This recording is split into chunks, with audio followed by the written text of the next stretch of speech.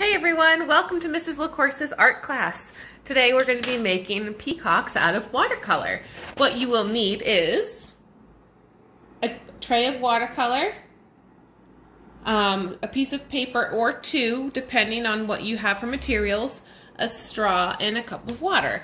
So um, I don't have colored construction paper.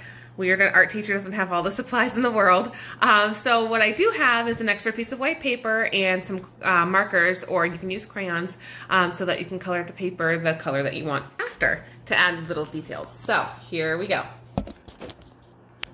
If you don't have a straw, no worries. You can use your breath. I'll just show you each time, um, each, each way how to do this. So what are the colors of a peacock? If you said blue and green, you're right.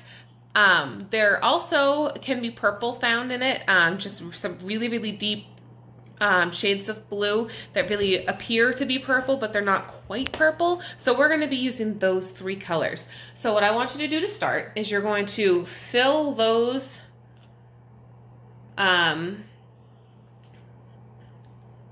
well, if I didn't say you need a brush, you need a brush too. Um, fill those parts of your palette, the blue, the green, and the purple, with water. So you want it to be nice and wet. All right.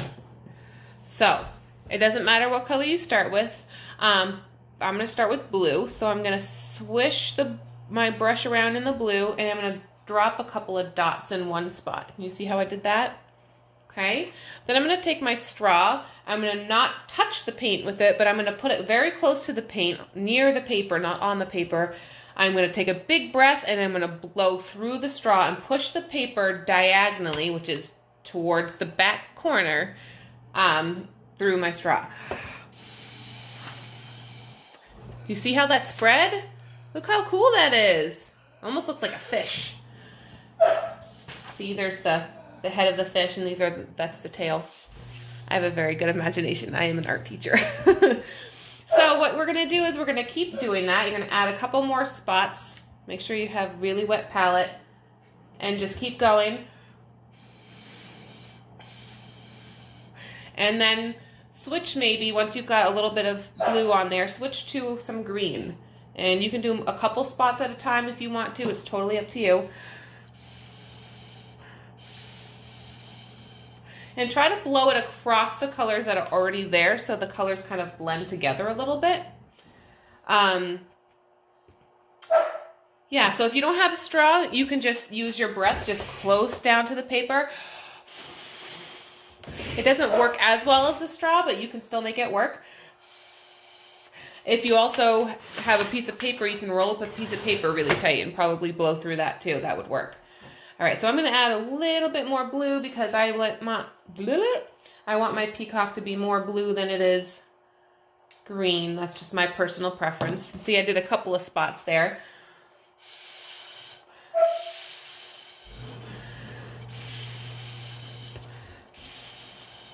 And we're going to keep going till the majority of the side is not filled filled, but you know, it's more colored space than it is um, than it is white.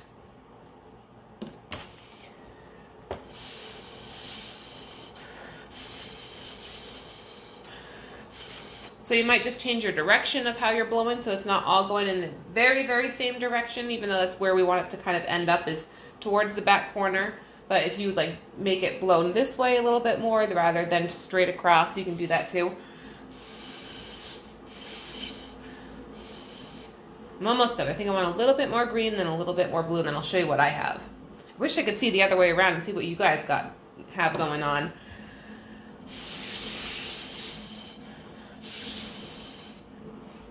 I'm just gonna add a little more blue.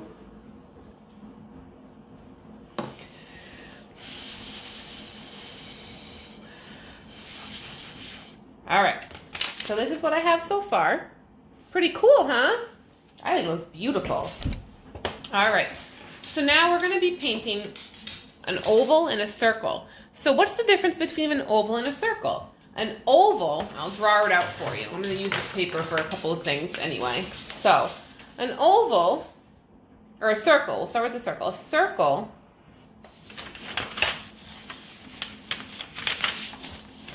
is like this.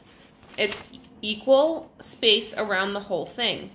Now to do an oval, all you have to do is stretch the circle a little bit. So what we do is make it a little longer with rounded edges. Do you see the difference? So this one's the circle and this one's the oval.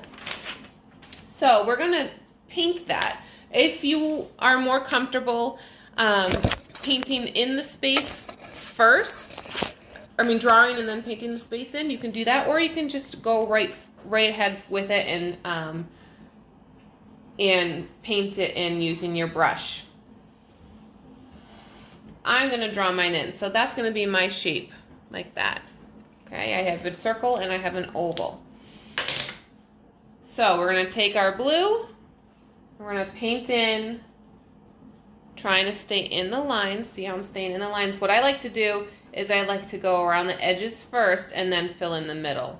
And then when you're painting, you want to make sure, with watercolor, you want to make sure that your brush is nice and wet all the time. It's what I call a happy brush, is when all the bristles, which is the hair, all the bristles come to a nice point like this. If it starts to go all over the place and it looks like you just um, rubbed your hair underneath a fleece blanket and so it's sticking up everywhere, that's what I think about for an angry brush. So we don't want an angry brush. We want our bristles to all stay in the same direction. And then pull towards yourself. Now I have a shorter brush and it's easier for me to hold it kind of midway, so midway is half halfway down. For you, because you're learning, you might want to hold it on the silver or the gold part depending on what your brush has. So you're going to hold it nice and close to the hairs and then you're going to pull it down towards you painting in one direction, like kind of like you're combing your hair. So if you comb your hair the opposite way, it's not very comfortable, right? So our brushes like to be um, with the hair going the same direction. Now, if you have some extra space here and you don't like that extra space there, you can add a couple more dots and then fill that space in and just kind of blow that around.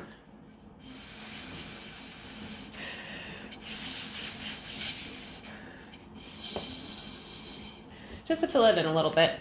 All right, so the next step, this is going to need to be dried because you will need um, to glue and glue becomes um, ungluable. It, it unattaches itself. It's water based. Um, so when you add water to it, if something's wet, it's not going to stick. So here's your hair dryer. Just blast it real quick. Only the peacock needs really to be dried. The rest can wait.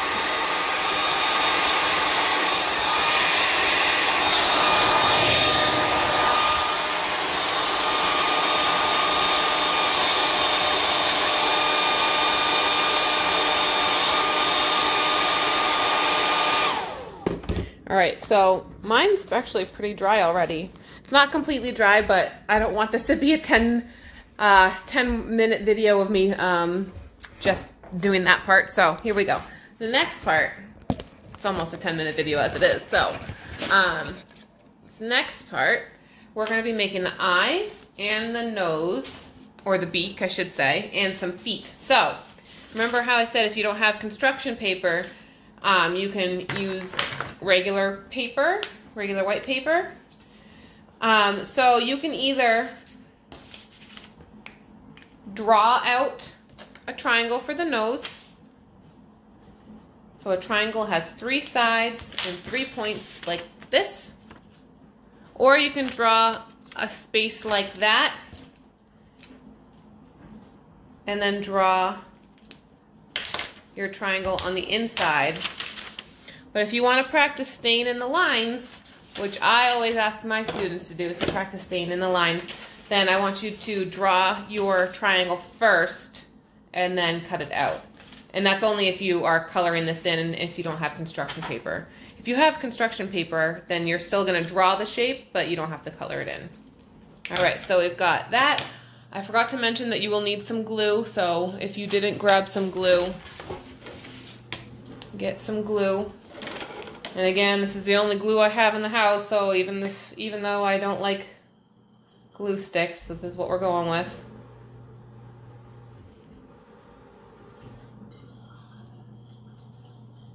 So there's my beak. Now, it's okay if you have a little extra that kind of fell off to the side. I'm going to end up making that into a wing, I think, just because I Um, I want, I work so hard, I don't want this to be just a blob of nothing. You can always fix a mistake. You can always change something. It's art. And art is very um, workable. All right, so now we're gonna do some eyes. So what shapes are eyes? They're circles. So if you don't know how to cut out a circle, you can cut. Uh, you can have mom and dad help you. If you want to draw it and then have mom and dad help you cut it, that's fine. Uh, if you want two equal eyes, fold your paper in half. And you'll just cut once and you'll have two equal pieces. So you're going to glue those guys down and then you can draw the eyeballs on them afterwards.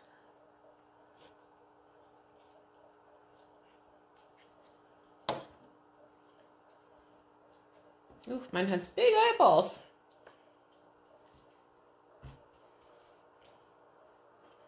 My paper, I guess, must be a little too wet still, but that's all right. There we go. Now it's sticking down. And then you can color in your eyeballs.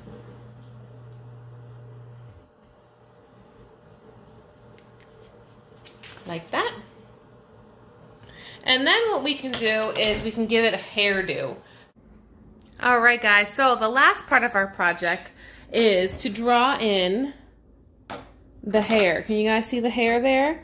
So all you do is, whoops, all you do is give it some little tufts here like this, and then come up, curl around, and stop. And you can add as many or as little as you want. They don't even have to have curls on it. Um, if you made a mistake like my wing, you can see here that I just outlined the wing and then I drew um, little bumps or continuous M's going across, which you don't even have to do that. You can just outline it. And then I added some feet. And to do the feet, I took a orange marker. And I started with this one, and then I started my next one at the end where it meets the body, and I do the last one. So I'm doing that to all three toes on both, like that. And then we've got our finished project. I hope you guys enjoyed your art class. Um, I really wish I could see your product so that we can, you know, share. Uh, I really like to watch what my students do, so it'd be really cool to see yours. So if you want to share and post, that'd be awesome. Take care, be well, hope you had fun. Bye.